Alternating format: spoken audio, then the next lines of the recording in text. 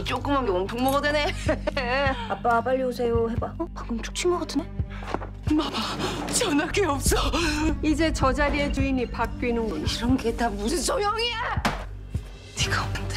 죄가 없다. 약한 편에 선 것도 죄? 형님, 대체 어디까지 가시려는 겁니까? 무엇보다 몸 건강히 무사히 나와봐라. 너와 함께 전화를 죽음으로 내몬 중전의 목숨은 내가 직접 거두겠다.